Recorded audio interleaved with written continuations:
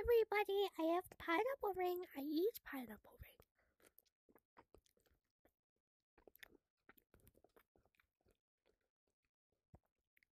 Juicy. Not in the sus way, in the fruity way.